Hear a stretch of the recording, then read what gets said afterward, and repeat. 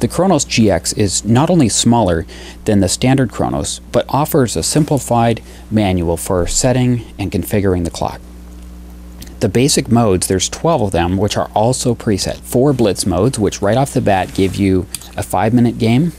Uh, second is a 2 minute game with a 12 minute increment. So every time the play button is pressed, 12 seconds are added to the side. That's a popular time control seen online turning the clock off and back on. There's our five minute game.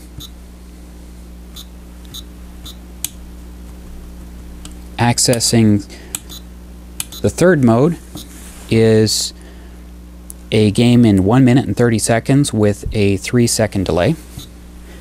Notice how the delay is indicated right here before the main time starts counting down.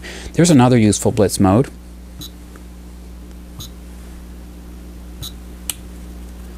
The fourth blitz mode is a, in this case, it's a 20 second countdown with a 10 second final delay. Again, this is all configurable. Notice how there is no delay until the 10 second point is reached. Since all these times can be customized, you could set your starting time or your delays, increments, and in this case, we're illustrating a final delay.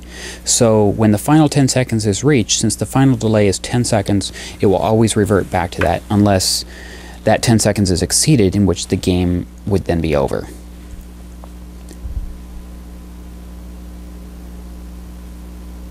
Notice how the indicator here is a dot, that's the flag dot. The display at the end of the game can be configured to be less prominent. Those are the main blitz modes. To look further at the blitz mode, notice how these settings can be configured. I'll go into more detail later about how to configure, but here is how the display is shown. Delay, no delay. Increment, no increment. And a final delay. That's differ, that differs from the delay on every move, as in the delay at the end of the game. Here we have beep settings, LED settings, uh, beep at end of game, halt at end of game, time stops rather than going negative, and display features, copying, that's how you save to a preset. This would copy to preset number 1 of 12 and back to the original.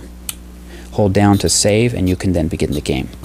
To go quickly into the other modes, the tournament modes, they offer such useful features as um, in addition to delay, final delay and increment, the the first four tournament modes are accessed by pressing the left side of the clock while turning the clock on. Here you have a 30 minute game. These are explained in the manual. There's various common time controls, so your first four presets will get you started. Uh, one's a 30 minute game, one is a one hour game, one is an hour and 30 with various time controls such as uh, 40 moves in an hour and a half, and um, so forth. Again, turning on with the left side of the clock gives you the first four tournament modes. That's one time control, two time controls, three time controls, and unlimited time controls. If we choose three time controls, there's 90 minutes. Turning on the clock with the right side gets you the final four presets 9 through 12. Those are also tournament modes. They save your move times so you can later go back and see how much time was used per move. This is the indicator.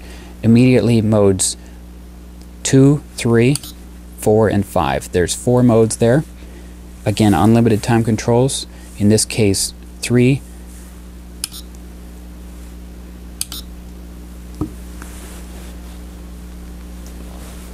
here's the time control indicator as to which one you're in. It'll be either the, the uh, main time, first time control, second, or third.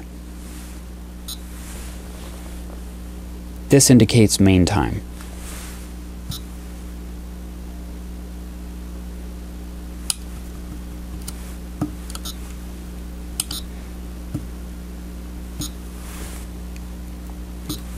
Notice a move count.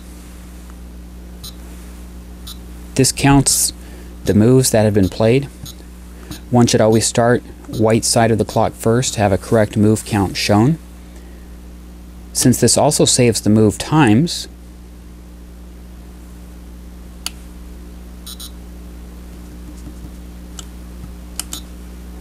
notice 15 moves have been recorded.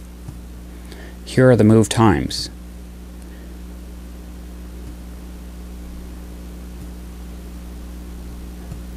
Move 5. Again, the blitz mode is, a, is accessed by turning on the clock with the red button. The tournament modes are accessed by turning on the clock by holding down one of these side buttons for the first four and the other side button for the second four. That's a quick overview of the 12 modes that this clock offers, simplifying the, the modes that the standard Chronos offers.